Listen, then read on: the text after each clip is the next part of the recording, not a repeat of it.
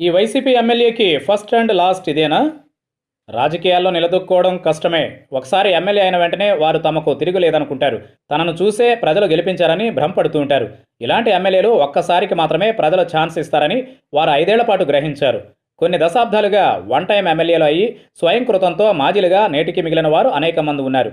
అలాంటి జాబితాలో ప్రస్తుత వైసీపీ ఎమ్మెల్యే ఉండవాలి శ్రీదేవి చేరబోతున్నారు. ఆమె డాక్టర్ అయినా నాడి చూసి వైద్యం చేసినా ప్రజల నాడిని పట్టుకోవడంలో ఫెయిల్ అయ్యారు.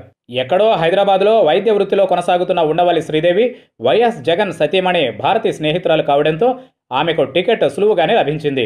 వైద్య వృత్తిలో నాలుగు రాళ్ళు వెనకేసుకున్న ఉండవల్లి శ్రీదేవి రాజధాని అమరావతికి సమీపంలో ఉన్న తాడికొండ నియోజకవర్గం వైసీపీ టికెట్ను సులువుగానే దక్కించుకున్నారు. ఇక రాష్ట్రమంతటా వీచిన జగన్ గాలిలో శ్రీదేవి కూడా విజయం సాధించారు. తొలిసారి గెలవడంతో ఆ గెలుపంతా తనదేనన్న భ్రమలో ఉన్నారు ఉండవల్లి శ్రీదేవి. ఐదు నెలల కాలంలో ఎన్నో వివాదాలు సహచర పార్టీ సభ్యులతో గొడవలు ఎంపీ నందిగం సురేష్తో ఘర్షణ ఇలా ఒక్కటేంటి? పక్కనే ఉండి ముఖ్యమంత్రి వైఎస్ జగన్కు తలనొప్పిగా తయారయ్యారు. ఆమె రాజకీయాల ముందు నుంచి పార్టీలో ఉంటున్న వారిని కూడా పదవుల నుంచి తొలగించే ప్రయత్నం చేస్తున్నారు. తాజాగా తూళ్ళూరు మండల పార్టీ అధ్యక్షుడిని తొలగించాల్సిందిగా ఉండవాలి శ్రీదేవి రాజ్యసభ సభ్యుడు విజయసాయి రెడ్డికి లేఖ కూడా రాశారు. దీంతో తాడికొండ నియోజకవర్గంలో వైసీపీ నేతల నుంచే ఉండవల్లి శ్రీదేవి తీవ్ర వ్యతిరేకతను ఎదుర్కొంటున్నారు. దీనికి తోడు రిజర్వ్డ్ నియోజకవర్గం నుంచి పోటీ చేసిన ఉండవల్లి శ్రీదేవి ఎస్సీ కాదన్న వాదన తెరపైకి వచ్చింది ఇప్పటికే కొందరు న్యాయస్థానాన్ని ఆశ్రయించారు.